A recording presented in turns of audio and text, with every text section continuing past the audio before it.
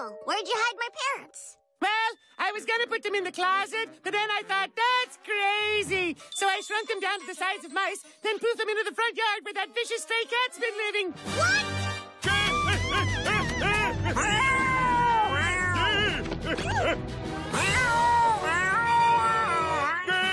I picked a bad day to fill my pockets with salmon.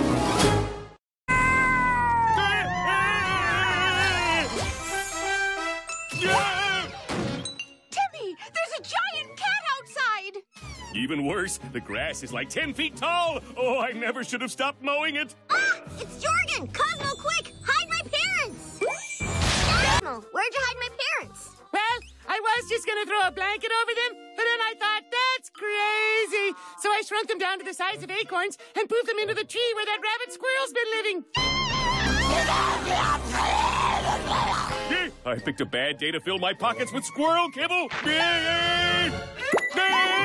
Timmy, oh, that was terrifying. My entire life passed before my eyes, and it was boring.